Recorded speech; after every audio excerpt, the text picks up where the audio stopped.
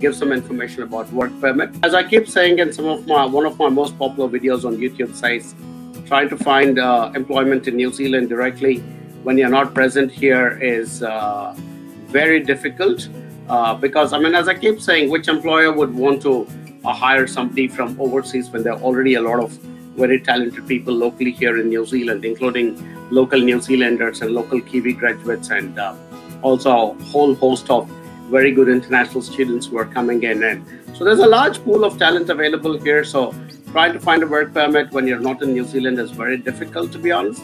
Uh, it happens in very rare occasions. In my entire career of about 15 or 16 years, I've seen it happen only about two or three times. So it's sort of massive occurrence. So uh, I think that's an easier way for you is to come into the country, be present onshore as an international student, finish your course at a particular level, get your post-study work visa.